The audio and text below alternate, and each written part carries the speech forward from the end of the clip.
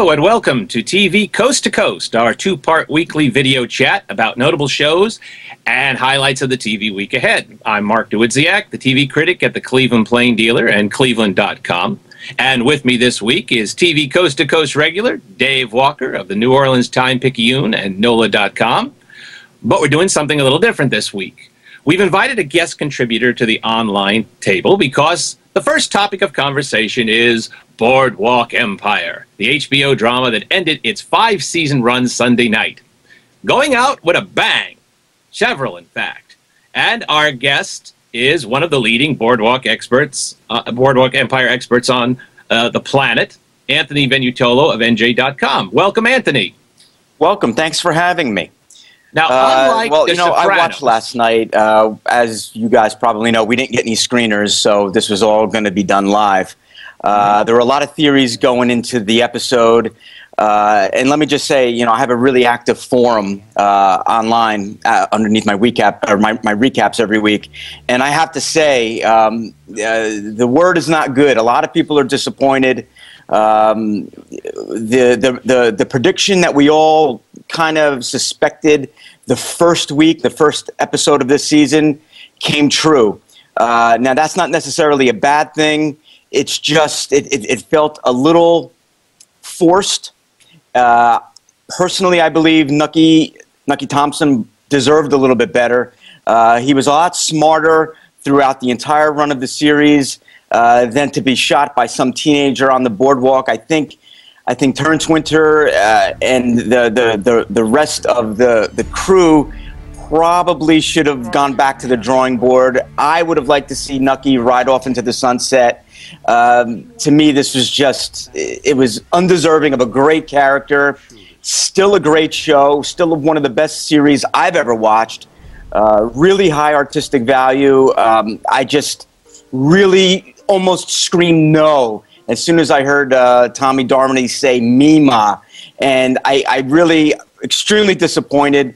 Uh, the last six, seven episodes have been wonderful to watch, uh, seeing uh, those great flashbacks and uh, the fate of all of our favorite characters. I just wish they did something different with Nucky Thompson. Uh, and I'm really curious to see what you guys have to say. Dave, what did you think? Um, well, it's interesting that you you raise him surviving into a full life because the the guy that the character is sort of based on did so. Um, Enoch Johnson was his name, Right. and he he was an, a political boss in Atlantic City, and he lived into the 1960s. Um, he uh, all of the story. Uh, that m- sort of melded the reality of his story and the mobsters was all pretty plausible um, based on the history that I, I know. Um, uh, I think I, I understand where people are coming from there, but at the same time, I think uh, overall the episode and this whole last season um, paid off a lot of the things that they were setting up all along the way. I was fascinated by this show from the very beginning. I read the book it was based on. Um, uh, I love the setting and I love the way that they did uh, mix real historical characters with a bunch of their fictional characters. Uh, when it first came on, I sort of thought, well, maybe this is going to be a Jersey Shore kind of Jersey Shore prequel, uh, and it became to, to me so much more. Um, and uh, for that reason, I thought that the finale and the final season sort of paid off um, uh, for the longtime lovers of this show, and I was from the beginning. Uh, and it also gave some great moments to some of the recurring characters and lesser characters uh, below the, the lead level that Steve Buscemi was, um, especially Stephen Graham as Little Al Capone. I just think that's one of the most amazing performances on all of television, and it has been from the beginning.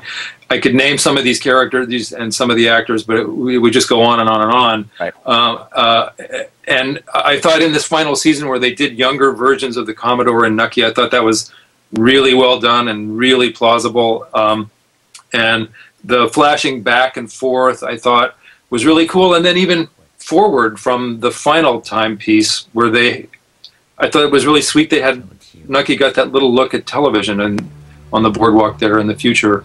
Um, there were little touches like that, as well as the period music. I thought it was like one of the bravest shows ever on television to have that weird kind of honky pre pre-jazz stuff playing in the next room all the time, and the Calliope or whatever on the boardwalk playing in the background. I, the atmospherics of the show were as important as the story to me, and I think it paid off to the very end. Mark, what did you think? Well, I, I, first off, I should have said at the top of this conversation, spoiler alert, for oh those who too late now. Uh, yeah. uh, I guess that's uh, that, that, that trolley left the station a while ago. The cat um, is out of the um, bag. So yes, we now have told everybody how this ends, and to me, this was sort of the anti-Sopranos ending. Um, clearly, Terrence Winter went into this going, no, no, no, no, no. We're not going to have any ambivalence about this. We're going to have a definitive ending on this. And I give him points for that. But, and you knew the but was coming, uh, I've always had ambivalent feelings about this series, uh, deeply ambivalent feelings. Uh, I'm fascinated by it, utterly fascinated by the world they have created, and I love the performances. But I have always thought that the storytelling was somewhat suspect. And I think the ending is indicative of that. It was a heavy handed ending.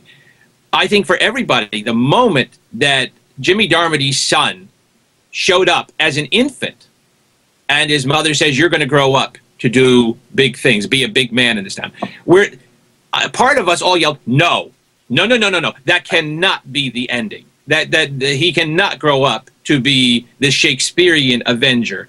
That to me seemed extraordinarily heavy handed. So if Anthony, if the fans are somewhat uh, up in arms about that ending, I am with them because I did not think it was an ending which fit the series.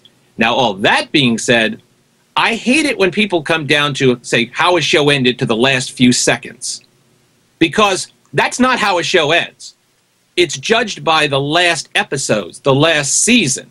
And this has been a pretty good last season. They only had eight episodes. They used every second very efficiently. Um, I like the way this show ended overall this last season. But here come those ambivalent feelings again. I was not crazy about the ending ending. And it did leave me somewhat cold. So I, I think I'm probably with the fans on that one, if that seemed to be the response. And that's saying that there was tremendous things in that. So gents, thanks. Uh, that was a terrific wrap up on, on a show which is going to have a lot of conversation. Anybody want a, a final word on that? No, I want to just thank Anthony for uh, playing along. Really great perspective. Yeah, thanks for having me. And uh, this was fun. Hopefully, we can do it again. All right. Uh, come back and join us for the second conversation of the week when uh, Vicki Hyman of New Jersey Star Ledger and NJ.com will be back on the panel. And we'll see you then. Thank